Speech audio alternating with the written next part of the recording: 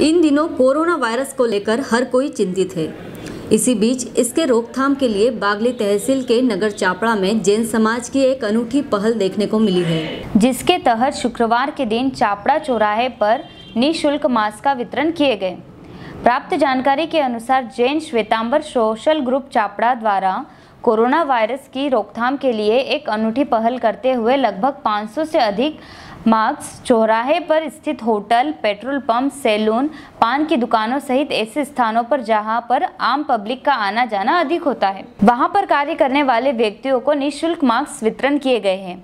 इस दौरान Jain Shwetambar social group अध्यक्ष शांतिलाल बंसाली की उपस्थिति में दुकानों पर पहुंचकर मास्क वितरण किए गए हैं। वह दुकानों पर मास्क पहनकर कार्य करने के निवेदन के साथ ही सतर्कता बरतने का अनुरोध भी किया गया है।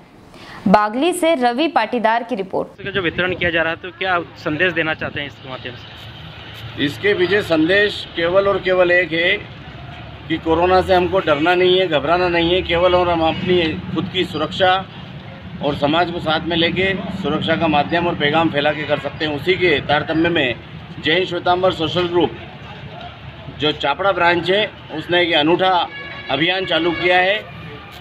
सभी होटलों पे चापड़ा चौराहे की, सभी पेट्रोल पंप पे, सभी सैलून्स पे, सभी हॉस्पिटल्स पे और जहाँ जहाँ पब्लिक का आवागमन ज़्यादा होता है, उन जगहों पे, पान दुकान पे, उन जगहों पे जाके मास्क का निशुल्क वितरण, ये जैन श्वेतांबर स्वरूप चापड़ा के द्वारा किया जा रहा है। ये हमारे हिसाब से कोरोना से बचने के लिए मील का पत्थर साबित होगा। हमारे एजेंट एसोसिएशन के महेश जी उपाध्याय, इनका भी हमें लगातार सहयोग मिलता रहा है। होटल व्यवसाय के जो मनीष जी, योगेश जी, ये लगातार हमारे साथ ही मोटिवेशन करते रहते हैं और इसी की शुरुआत इन सब के माध्यम से चालू है।